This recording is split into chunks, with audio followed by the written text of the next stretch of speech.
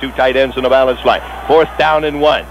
Huckleby deep and Davis close and Michigan is geared right now offensively. Ricky Leach needs a yard for the first down. And I believe he pulled Duke off sides. He keeps the ball down to 5, 4, 3, 2, 1. Touchdown, Ricky Leach! Touchdown, Ricky Leach! As Ricky Leach has just picked up his third touchdown, the first one running. He threw two touchdown passes a week ago, and I don't know whether Michigan will have to come back and accept the penalty that was called before the ball was snapped, or does he get the choice? I believe he gets the choice.